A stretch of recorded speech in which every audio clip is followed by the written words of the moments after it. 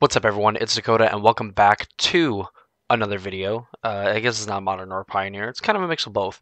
So we just got an announcement yesterday of the pending announcement that is coming December 4th, a Monday, for a ban restricted announcement. And it sounds like they're going to go scorched earth on multiple formats. And of course, we're going to cover the two most popular slash only ones that I really cover on my channel uh, in Pioneer and Modern. And cards that I'm going to uh, suspect are going to get banned, or at least the ones that are being talked about. And really why I like or really even dislike what's going on. So before we get into that, of course, if you are not subscribed to the channel and you want to see more videos like this, you want to see modern and pioneer content, be sure to subscribe to the channel, ring the notification bell so you know when those videos get posted. And there's a link in the description down below to my Discord server as well. If you if that is something that interests you, go over there, uh, follow the link, join, all that fun stuff. Super easy, free ways to support my content. I really appreciate it. Now let's get into the video. So, modern if you've watched my channel, if you've been a uh, a peruser of the channel, if you will, you know that modern is like by far my favorite format. It's the format that got me into playing competitive Magic and like really getting deep into it. You know, like I played a lot of standard, but like modern is just a thing that has encapsulated me in like my interest of playing Magic the most. And uh, it's kind of miserable right now. Like scam, you know, uh, people are running the numbers and stuff saying that like scam isn't that great it's actually actively bad right now. But when you have an almost 21% uh, metagame hold you know like since the pro tour like has dominated and is just seeing more and more play and of course we've seen you know the, the rise like the beanstalk deck come around and kind of help you know take some of the share I guess away from you know Rakdos, but it's also kind of doing it to the other decks in the format as well, which I think it was really hurting Modern's diversity and really what made Modern great. Honestly, like even when Scam was like in the format, and I think really before people even like played it as much as they did, top decks in the format were like eight to nine percent, and you weren't even necessarily guaranteed to like play against them.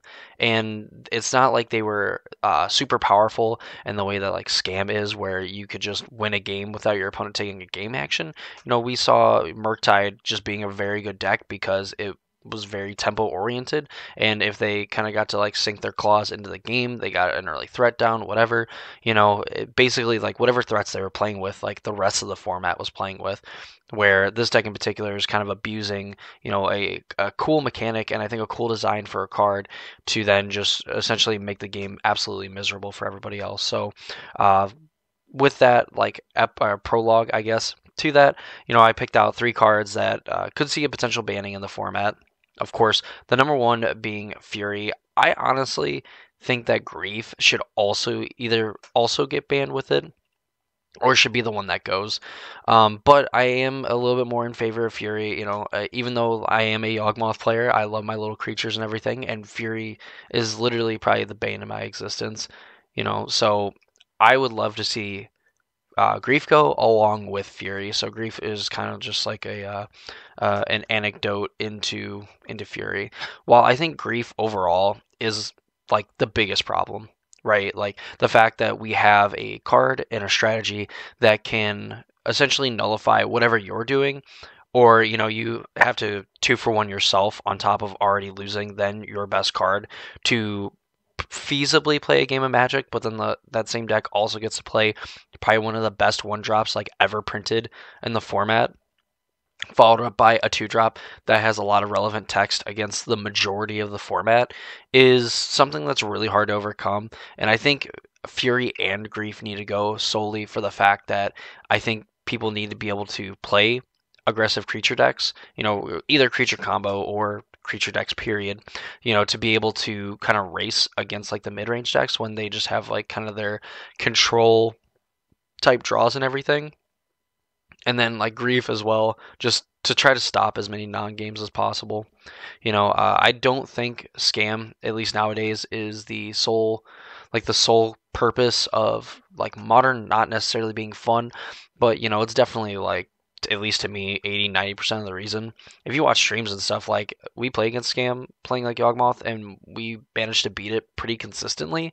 Honestly, like I can't even remember the last time, at least on Modo, that I like lost to a uh, Rakdos Fury or a Rakdos Evoke deck and just you know, uh, either I mean, felt miserable playing it, but really like miserable and losing the game and stuff. So it's just something that probably shouldn't exist in in modern. And of course, like it's a very competitive strategy. Players have latched onto it. I mean, it's you know, it's it's the best deck for a reason, and by you know tons tons of strides. Like you know, it's it's the best deck in the format, and I think it's lived long enough. I think Fury or Grief should go, uh, and probably both. Honestly, like let's just kind of get them out of here. So uh, that's Fury. That's the number one card. I think uh, has the most likely chance of probably getting banned in Modern, along with like Grief also kind of being on that list as well. So the next one, a card that we is uh, I guess we didn't allude to this one. It's the next one. I messed up the order. oh well. So Bowmaster is a very powerful card. And for those of you that don't think it's a very powerful card, uh, just know that you've probably never played against it, or you know, like you saw it like one time and it immediately died, and you're like, well, dies to removal, it's bad. So, Orcish Bowmaster, being a flash threat, being a threat to one toughness creatures. Obviously, you know we see uh, Delighted Halfling seeing a lot of play, and the fact that I think if it was like a one mana one one that had its abilities. I don't know. People would people would still play it uh, because I think it is kind of good enough to where you can kind of dodge a bowmaster slash a Wrenn and Six uh, activation and whatnot. Um, the fact that it has two toughness instead of one makes it, you know, just an auto like slam dunk. Like you're not, it's a card that you include and you're not worried about it. We've seen decks that went from playing like Ignoble Hierarchs, Birds of Paradise, Noble Hierarchs, whatever, into playing Delighted Halfling because of it has an extra toughness, an extra point of toughness. And Bowmaster has the additional upside versus like Wrenn and Six, to where you know there is some spots where like you can just Bowmaster and ping something, and then your opponent ends up like drawing an extra card, and you're able to take down two and uh, even three toughness creatures. Uh, the amount of games that I've played where I've just played a Bowmaster, and my opponent's like activated the second chapter of Fable the Mirror Breaker, or they've cast like preordains and things like that. Uh, other just draw spells into an Orcish Bowmaster, a, a, fully known Bowmaster, and it just like slowly accrues more value and stuff. And of course, some of the other decks, I mean, like Yawgmoth in particular, I mean, that's the deck that I have the most experience playing with in the format. You know, can use this and just create two bodies off of it. Helps pay for like Chord of Calling. It's a two mana, so you could even Eldritch Evolution it away to go into some bigger plays and just overall is an annoying card. Of course, we know that the One Ring also exists in the format, but honestly, the fact that I think it's seen significantly less play than I mean what we've seen, and the fact that instead of it being kind of the thing that players build around, I think it's just included in some of the other things going on. And while I think the One Ring can be pretty miserable to play against if you're a player that you know, is playing these, you know, super aggressive strategies and your opponent's just able to like draw one card, draw two cards, draw three cards, you know, and all of a sudden they're up, you know, six, ten cards on you and haven't really lost any life and have found ways to like mitigate the life loss and stuff from that, you know, it, it does get pretty rough. But I think Orcish Bowmaster in particular is even rougher to play with and I think at least the hope is for me, if Bowmasters goes, that the One Ring will either follow with it or be shortly behind it, because then I could definitely see a world where people are just jamming like Omnath on the One Ring again, and we're just like trying to gain as much life as possible, draw as many cards as possible, and find ways to win the game from there just by absolutely just grinding your opponent into pace. So, uh, Bowmaster while a card I'm not particularly excited to see go if it does go away, if we're going Scorched Earth like I think we are, uh, we're probably hitting some of the most played cards and some of the top played cards in the most popular strategies, Orcish Bowmaster, seeing play in Rakdos midrange, seeing play in just about any deck that is playing black mana that is not trying to like cascade or anything like that. So, you know, Bowmaster probably going to get the axe uh, may, if not this banning, maybe the next one, especially if the ring decides to go away as well. Finally, the last card that I have for Modern that I pointed out, uh, as you could probably figure out by the fact that I did screw up the order a little bit, is up the Beanstalk. So there are obviously the pitch elementals, there's Fury and there's Solitude that trigger up the Beanstalk you know, we played a deck on the channel that literally was just like a combo deck that was going to cascade into up the beanstalk, and then it was going to then cast its free elementals to draw three, four cards each time. You play a Jace, and then you end up decking yourself and winning the game. That's kind of what these up the beanstalk decks have come to. Of course, we have Leyline Binding as well, being uh, a six mana enchantment that has flash, but really in like these up the beanstalk decks, you are able to get domains, so you're able to get that cost down to one, but it still costs six in your deck, so you're never going to cascade into it meaning that it has essentially one mana catch all removal for your opponent's permanents which i mean a lot of the time even in these decks in particular you know there's not something of yours that you want to get rid of anyway. So like the drawback of sorts where you can only target your opponent's things really doesn't matter, or at least doesn't come up in a lot of situations. Uh, this just absolutely grinds people into pace. Of course, you know, we have Bowmaster, but I think if Bowmaster goes up, the Beanstalk has to go as well.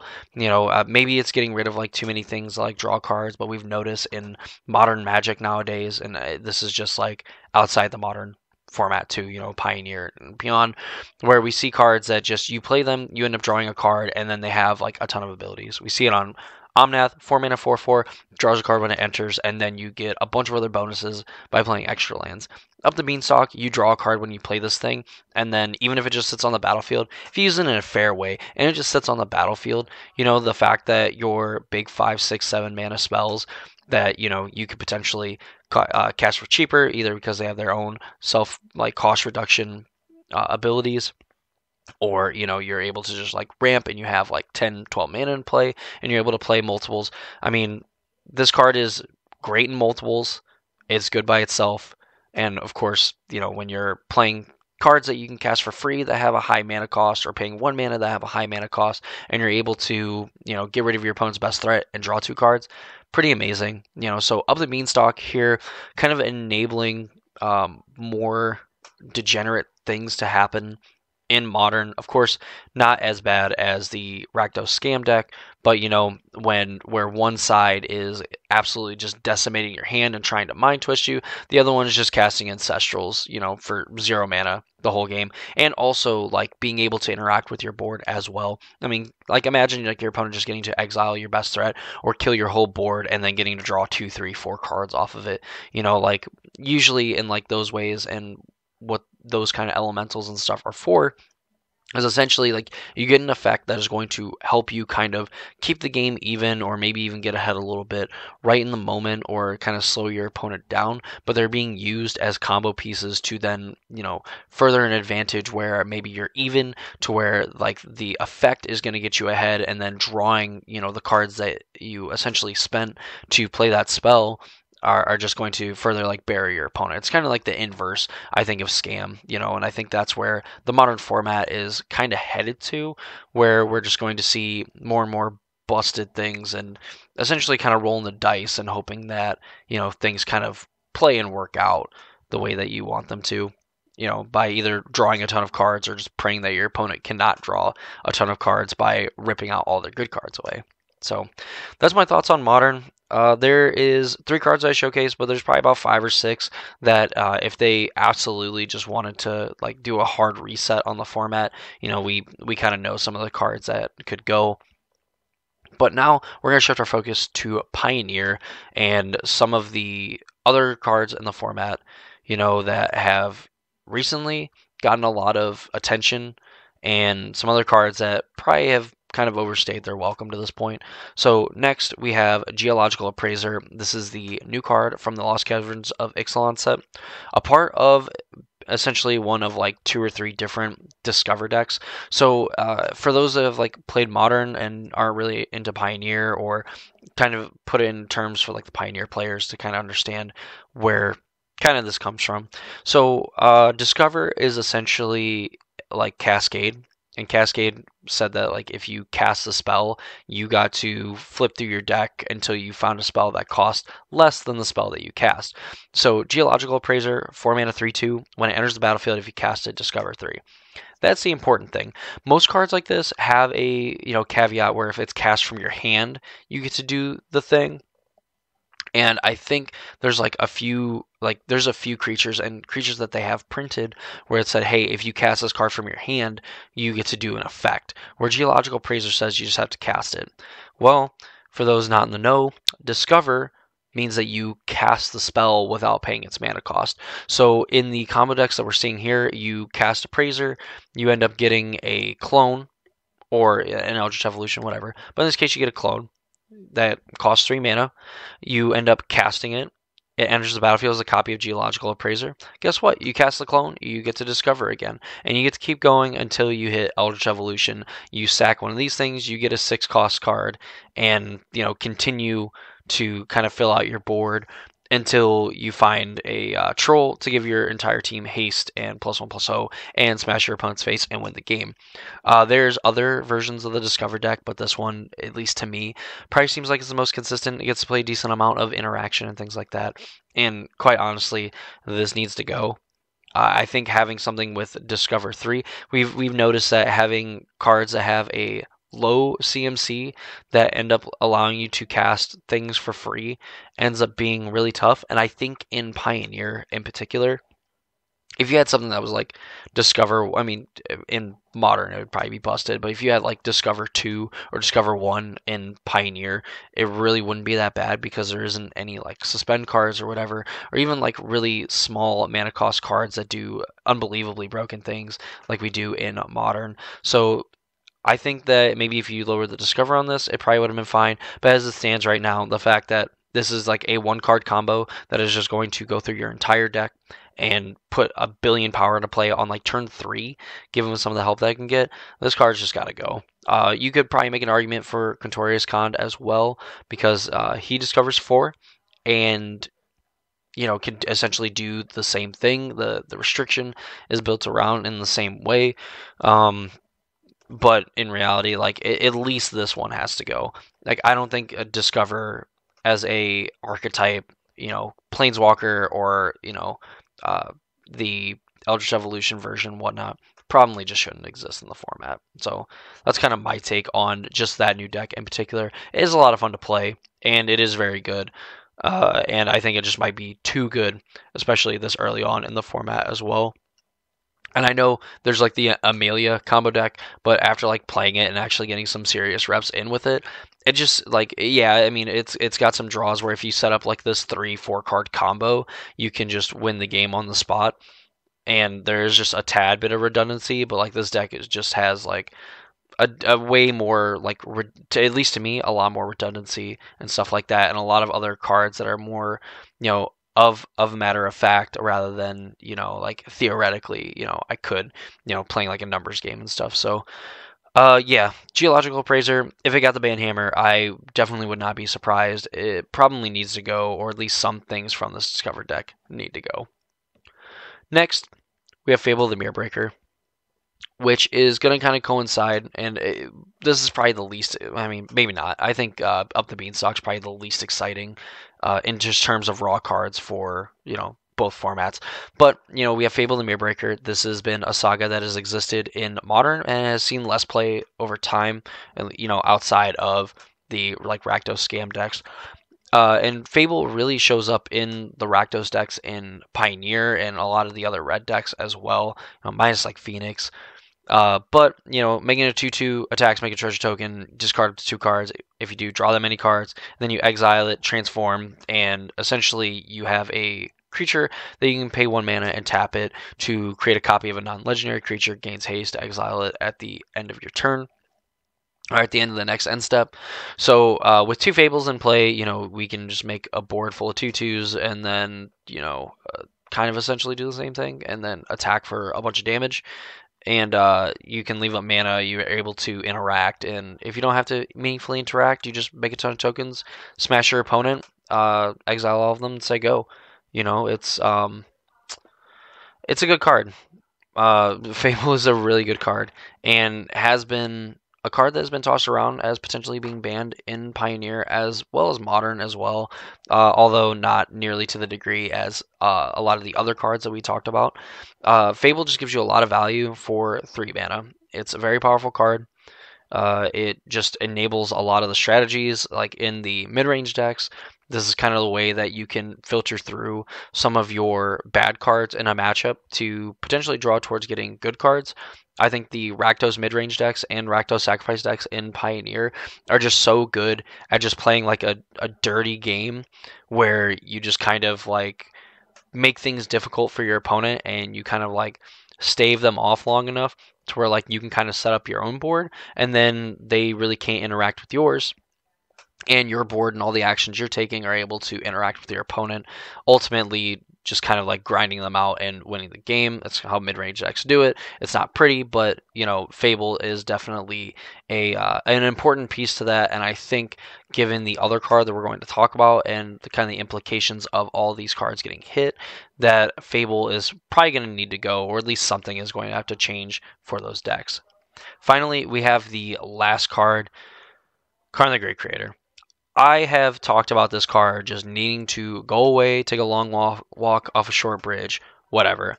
Karn the Great Creator is insane. The fact that in the mono green deck, in the mono green devotion deck in specific, you are able to play a bunch of these combo pieces and silver bullets in your sideboard that are going to essentially help you to uh, eventually get to an infinite combo and you know in some cases just making near infinite, essentially infinite mana, going through a ton of loops and things like that, and then getting to loop the Stone Brain to exile your opponent's library entirely, and then force them to draw a card.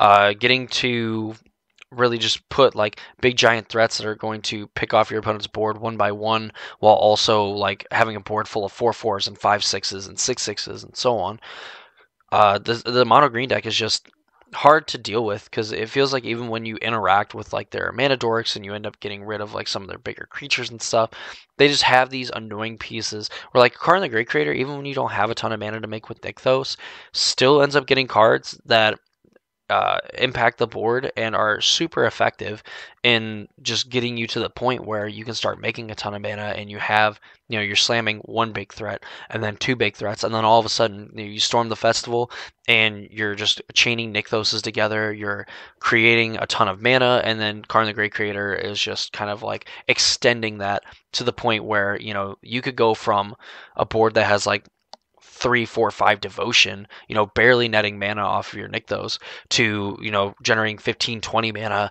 and just w- being able to win the game in a spot where it really probably shouldn't have been possible for you to win the game uh, through normal means and stuff. So, uh, in at the end of the day, you know, if mono green, if Nykthos is going to be a card that was just like, yes, this would be a fine card for the format. I think Karn the Great Creator has to go. I think um, even though mono green might be on like the downswing or whatever with some of the other combo decks and things like that, I think that you still need to get rid of Karn the Great Creator. I think you still need to limit that deck because if you just kind of get rid of all the combo decks, you uh, kind of nerf some of the more aggressive decks, you nerf like uh, red black mid range and whatnot, then you just have uh, the green decks kind of come back to the top until you know you have another announcement and then that announcement, you finally do the thing that you should have done, and people are stuck playing a miserable format for a few months. Uh, obviously, short of like emergency bannings, but I think uh, with this announcement, we're going to try and avoid having to do emergency bans after. Um, but yeah, that is like my thoughts and opinions. Cards that could be banned or un- or cards that could be banned in modern and pioneer as well. Uh, just uh, it, both formats are kind of a mess you know, uh, I'm long overdue for a big shakeup. I think the change that they made in Modern by unbanning Preordain was a good one, but I, I definitely don't think it was good enough to kind of shift the format in the direction where you wanted to. You want diverse formats. I think you want diverse formats where maybe like one deck is like considered miserable, but it's like really not that miserable where I think Modern and Pioneer right now just have a lot of decks that feel like they're just an absolute slog to play through. Uh, some of the games are fun, but like most of the time, you just kind of feel like you're kind of hoping that you just don't lose out of nowhere. So, which isn't necessarily like a fun feeling, but you know, uh, I guess it is what it is. You know, I, am not the fun police. But uh, that's going to do for me in this video. I hope you all enjoyed. If you did, leave a comment down below or leave a like on the video and then comment down below uh, what cards you think could be banned in Pioneer or Modern or what cards you'd want to see banned. And of course, if you haven't already, subscribe to the channel, ring the notification bell so you know when other videos get posted, and go to the link in the description down below to join the Discord server. That's going to do for me. Hope you all enjoyed the video. And I'll see you all in the next one.